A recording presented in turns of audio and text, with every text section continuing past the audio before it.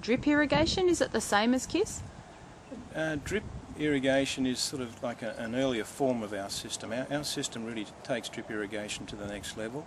It's sort of the, the world's best practice uh, irrigation system. It, uh, drip irrigation has a number of sort of uh, shortcomings in it.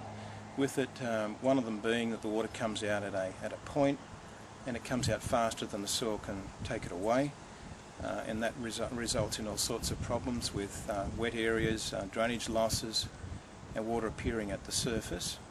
Our system really was developed to get around those problems. And uh, as a result of uh, the use of a geotextile strip, which converts the uh, individual emitters into one continuous emitter, we've been able to overcome the issues with tunnelling of water to the surface.